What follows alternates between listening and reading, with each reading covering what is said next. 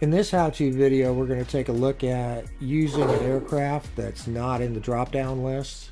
Since there's an ever-growing number of aircraft and combinations of aircraft in the marketplace and, and on the internet, the drop down list will never be 100% for every possible aircraft that could be flown. So the drop down list contains only the aircraft for the Microsoft Flight Simulator 2020 Standard Edition. All of the, the standard aircraft are here. You can switch between them and you shouldn't have any problems. You might have issues if you switch between prop and jet aircraft with the aircraft being cold and dark, depending on which aircraft you're going between. If you want to be 100% certain of the configuration options of the aircraft when you start, you really need to go into world map and and actually load the flight, sit in the cockpit, set everything you want to set, and then save your flight plan from the cockpit. At that point, flight plan will save every aircraft setting.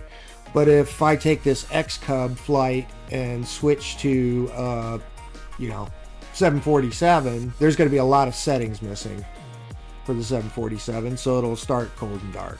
Okay, so that's the caveat to swapping aircraft. But let's say I may have a lot more aircraft than just this in my hangar.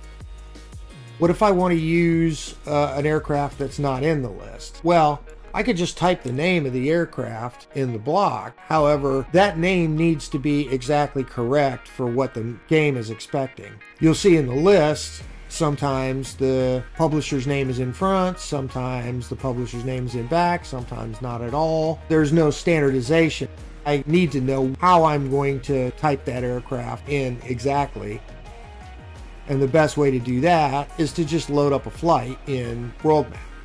I have the Reno Air Races installed, so I've got a P-51 Mustang available in my hangar. So we'll just pick that, and we can pick any airport. It doesn't really matter because we're not going to fly this flight at all. I'm just going to save it so that I can see what the exact aircraft name is.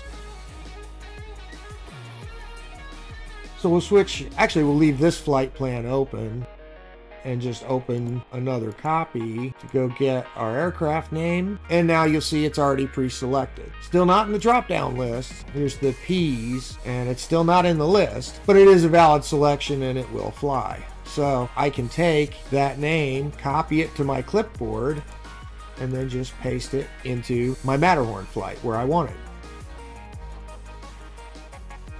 Let's save this as Matterhorn P51D. And then next time I want to use the P51D, I don't have to create a new flight plan out of world map. I'll just open this one again and copy it out of here if I haven't memorized it by then. Okay, so let's go into cockpit map. We'll just load the flight. I believe this is one of the legs of one of the bush trips. See our other how-to videos if you want to learn how to use waypoints from within a bush trip to make your own free flight. We've spawned at our airport in the Mustang P-51D, ready to go fly the Alps in a P-51 Mustang. That probably hasn't happened since World War II. So you can do that with any aircraft in your hangar. The only real caveat is make absolutely certain that the name of the aircraft is what the game is expecting. Thank you for watching and please like and subscribe.